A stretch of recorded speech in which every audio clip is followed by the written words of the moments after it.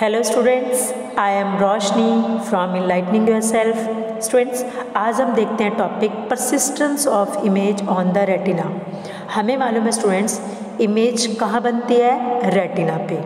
लेकिन रेटिना पर इमेज कब तक रहती है? कब तक उसका वो परसिस्टेंस वहाँ पे तक हमें दिखाई देता है? वो होता है स्टूडेंट्स एक सेकेंड का सिक्सटीनथ सोलवा हिस्सा.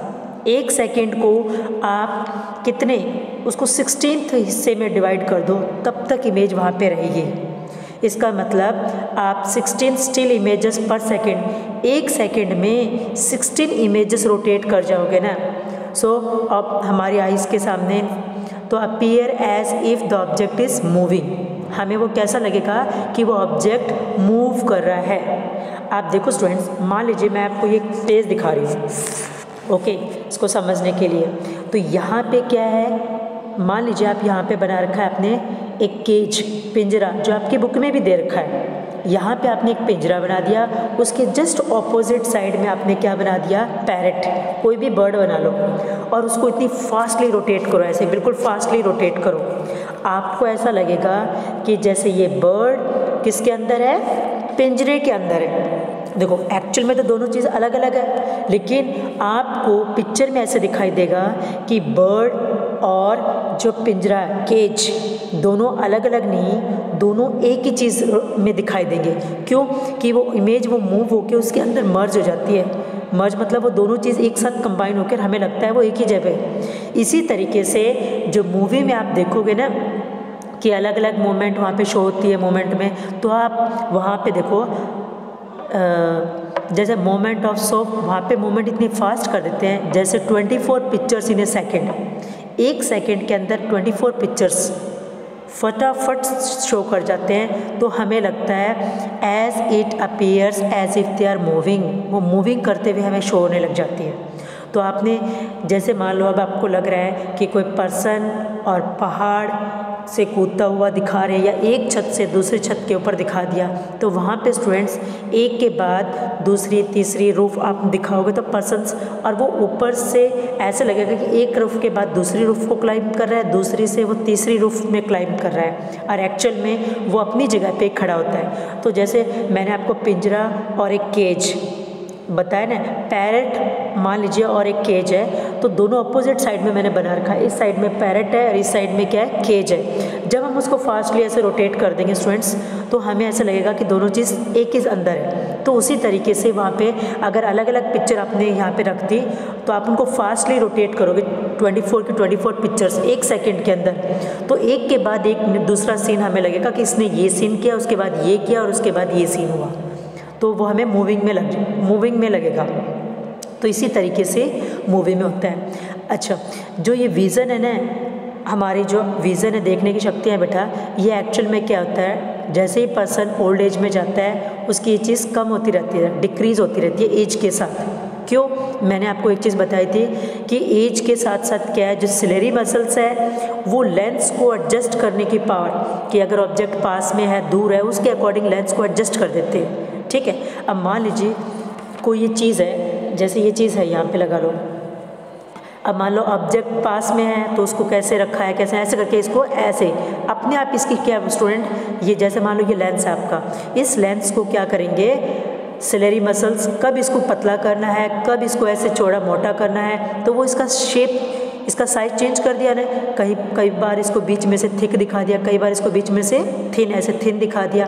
तो ये एडजस्ट इसको लेंस को एडजस्ट कौन कर रहे हैं? सिलेरी मसल्स कर रहे हैं। और कैसे करते हैं इसको एडजस्टमेंट और according to the object object के अकॉर्डिंग ऑब्जेक्ट दूर में है या पास है? और ताकि उसकी प्रॉपर इमेज कहाँ बन सके? रेटिना पे। इसलिए।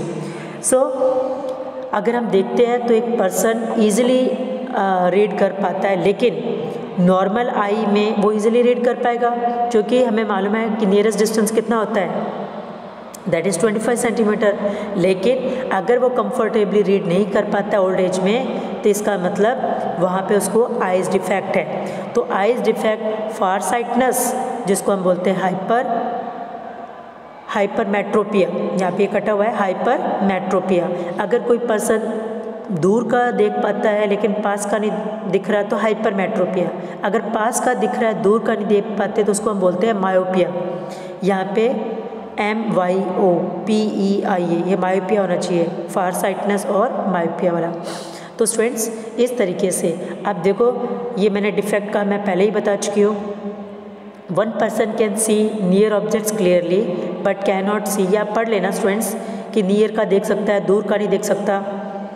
तो उसको हम क्या बोलेंगे? उस डिज़ीज़ का नाम नियर साइटनेस या उसको क्या बोलते हैं हम? मायोपिया तो वहाँ पे भी उसको लेंस प्रॉपर चाहिए। अगर मैंने एक और डिफेक्ट बताया था कैटरेक्ट कैटरेक्ट कौन सा डिफेक्ट हो गया?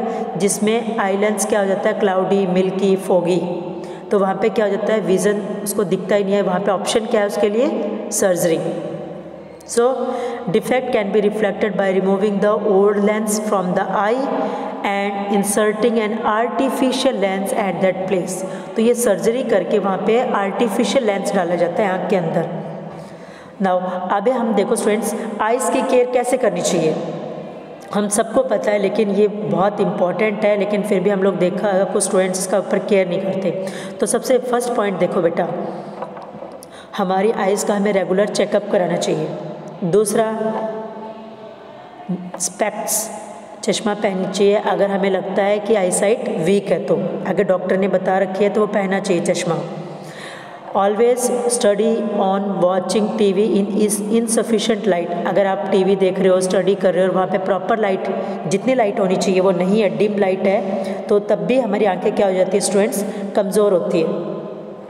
और उसकी वजह से क्या होगा स्ट्रेन जो हमारी सिलरी मसल्स है उनके ऊपर स्ट्रेन मतलब स्ट्रेस पड़ेगा। और दूसरा क्या होगा उससे हमारी आइज़ में? स्ट्रेस पड़ेगा तो यहाँ पे क्या होने लग जाता है? हेडेक और ये चीज़ यहाँ से भी पेन होना शुरू हो जाता है स्टूडेंट्स यहाँ से।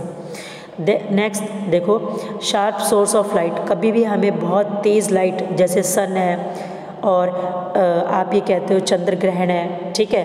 लो, लोनर इक्लिप्स सोलर इक्लिप्स इनको भी नहीं देखना चाहिए डायरेक्टली ये हमारे आइज़ को क्या कर देती है? डैमेज अच्छा if dust enter in to the eye one should not rub कई बार देखा ना, आँखों में धूल चले जाती है तो हम उसको ऐसे ऐसे रब करने लग जाते हैं। नो रब नहीं करना, उसको आप क्या करोगे?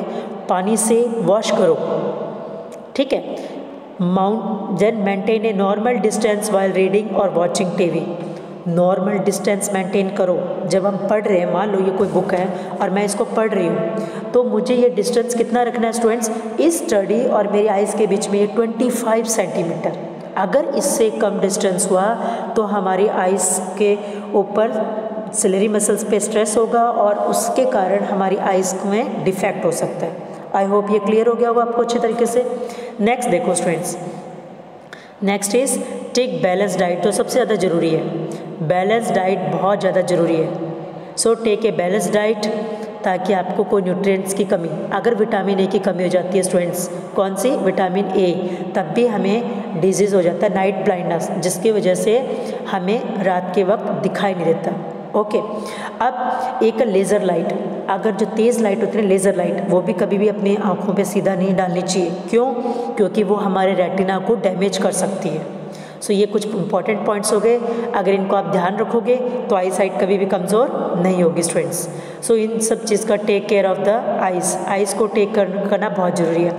और आप ये खुद एक्टिविटी करके देख सकते हो कि आप एक साइड में आ, जैसे मैंने पैरेट का बताया दूसरे साइड में आप केस बना के और उसके ऊपर क्या है? जैसे ये गत्ता है, गत्ते के ऊपर आपने दोनों चीज़ बना ली, इस साइड और एक दूसरी बैक साइड में। बनाने के बाद इसको आप किसी धागे से ऐसे पकड़ लो और इसको बिल्कुल फास्ट रोटेट करो, बहुत फास्ट। और आप देखना इसमें आपको कैसे लगता है।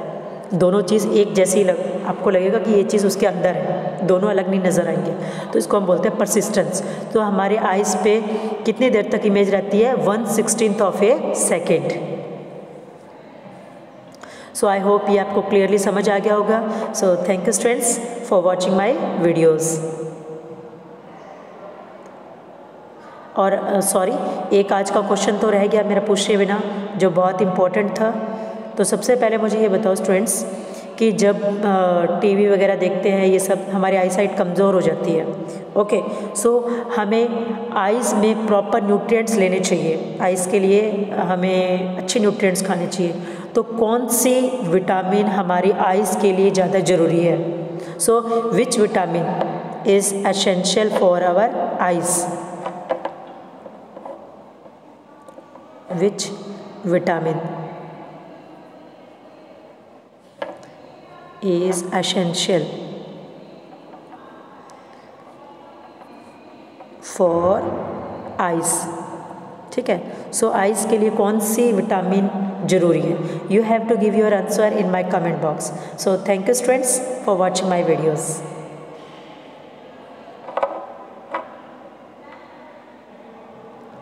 अच्छा एक चीज़ और भी रह गई स्टूडेंट्स मैंने थैंक यू थैंक यू बोल दिया, लेकिन कोई बात नहीं। आपको बताना ज़रूरी है। सबसे पहले सुनो ध्यान से यहाँ पर। जो हमारी आइज़ है ना जो मेन पॉइंट है वो बताना भूल गई। देखो आइज़ जैसे आपने देखा है, घर से बाहर जा रहे हो आप, या बाहर से आप पिक्चर हो, आपने मान लो बहुत बाहर है, धूप है बिल्कुल। आप जब अंदर की साइड आते हो, तब आपको एक मिनट के लिए, एक सेकंड के लिए कुछ दिखाई नहीं देता, एक दो सेकंड के लिए। फिर आपको धीरे धीरे दिखना सब कुछ ईजी हो जाता है। ऐसे ही जब अंदर से एकदम हम लोग कभी भी ये चीज़ होती है, आप बाहर जाते हो, तब भी कुछ होता है आइस के अंदर तो वो मैं बताती हूँ क्या है। सुनो ध्यान से। हमारा जो अंदर प्यूपिल अब प्यूपिल सबको पता चल गया है? ठीक है, आपको यहाँ पे प्यूपिल का जो सेंटर में ब्लैक होल है, ठीक है, उसको बोलते हैं प्यूपिल अब प्यूपिल का साइज़ बड़ा और छोटा होता रहता है। उसको बड़ा और छोटा कौन कर रहा है? साइज़ आयरिस कर रहा है।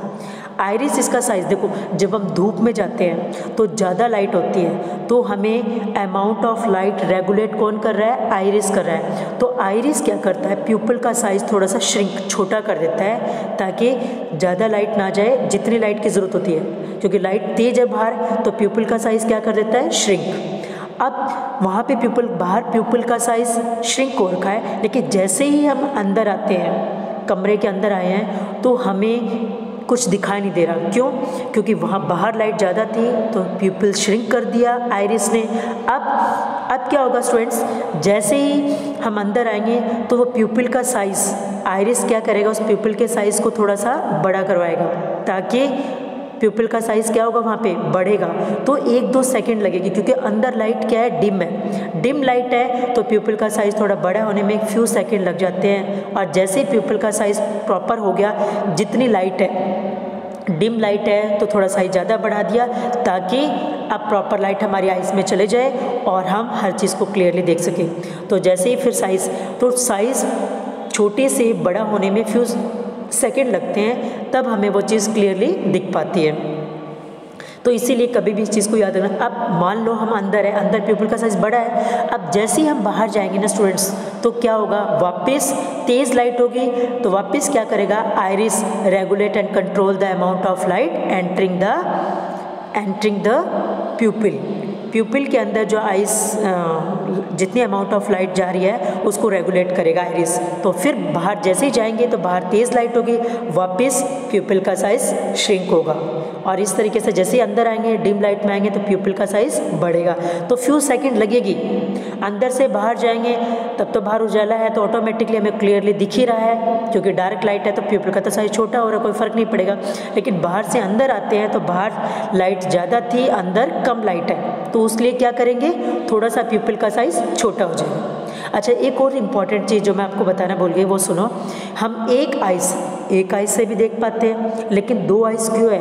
क्योंकि ब्रॉडर व्यू दो आइस से ज़्यादा डिग्री का एंगल बन जाएगा।